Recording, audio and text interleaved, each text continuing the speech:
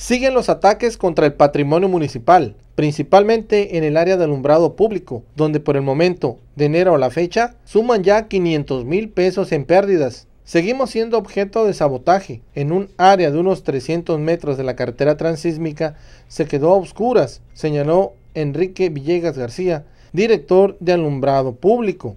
El funcionario informó que en cada uno de los 11 postes que fueron atacados les cortaron el cableado que suministra la energía, siendo por ello que dejaron de funcionar las luminarias desde la entrada a la ciudad hasta el puente Joroba.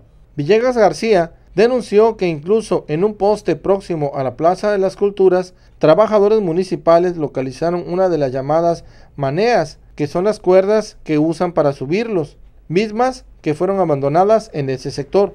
Por el momento no se han implementado formalmente operativos para identificar a los responsables y abatir este delito. Sin embargo, las corporaciones de seguridad permanecen en alerta ante el repunte de estos ilícitos. Imagen del Golfo, Luis Alberto Ponce.